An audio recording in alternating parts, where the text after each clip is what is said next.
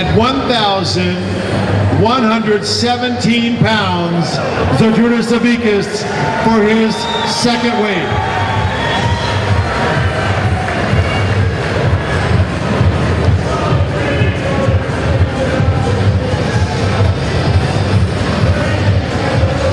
The school bell is ringing.